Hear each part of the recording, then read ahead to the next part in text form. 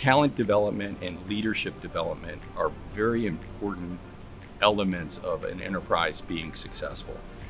Um, it's important that as folks are being brought along through their career, that they have good, clear career path opportunities. They understand what the parameters for success are,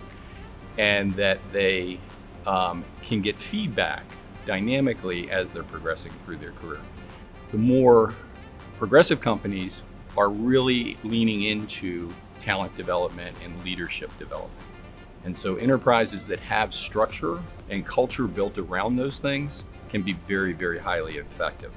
And it creates a lot of goodwill with the employee and staff population in the sense that they see the company actively investing in their success and their future.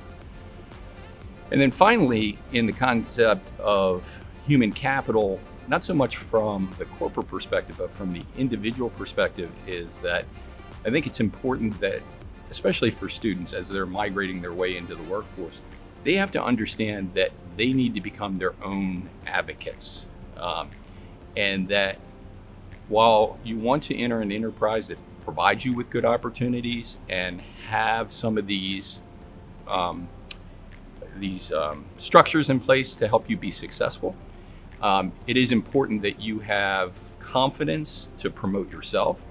um, to try and stretch yourself, do things that might be outside your comfort zone, um, and to take on, when the opportunities are presented, stretch assignments that are really going to allow you to shine and do something maybe unique or different from what you do typically on a day to day or a week to week basis. I will say that across the span of my career, I, real, I realized I probably became more impactful when I realized I wasn't waiting for somebody to give me the next opportunity, when I was actually stepping up and saying, hey, I'd like to try this. And so I really encourage folks, especially early in their career, to take that approach, be their own advocate.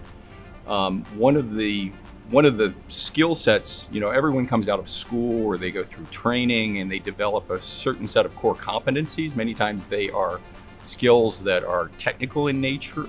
Uh, it's a body of knowledge that you master and you become somewhat comfortable with.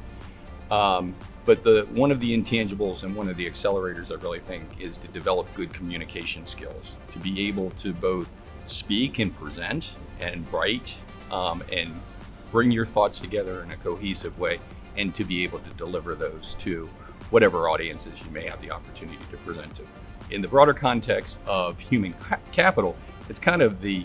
it's the hidden asset of good organizations. Um, and as you're embarking upon a career, you want to keep in mind that that is really something to be looked for and to try and leverage and exploit as you're trying to grow your, your career.